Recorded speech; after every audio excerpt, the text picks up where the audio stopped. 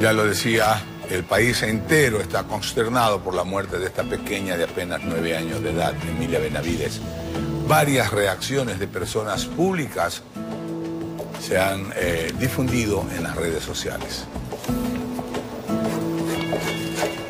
Asesinato de la pequeña Emilia ocurrido en Loja ha despertado la indignación de la ciudadanía y de las autoridades.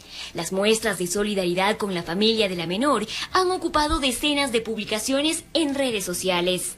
El fiscal general de la Nación, Carlos Vaca Mancheno, mediante un comunicado oficial expresó su solidaridad con su familia y se compromete a aplicar todo el rigor de la ley para que este acto no quede en la impunidad.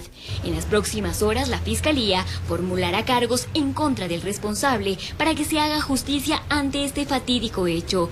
Por su lado, el presidente de la Asamblea Nacional, José Serrano, a través de su cuenta de Twitter dijo, como padre y ser humano, estoy consternado por la muerte de la niña Emilia Benavides, un acto execrable de personas que parecen haber perdido la humanidad y donde las víctimas en su mayoría son mujeres y niñas.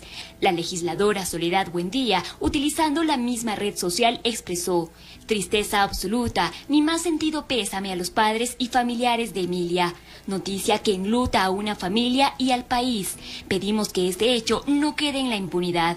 Así también la ministra de Justicia, Rosana Alvarado, dijo, trágico desenlace del caso Emilia, un crimen contra una niña es un crimen contra la niñez, solidaridad con los familiares de la víctima y condena absoluta al cometimiento de estos delitos.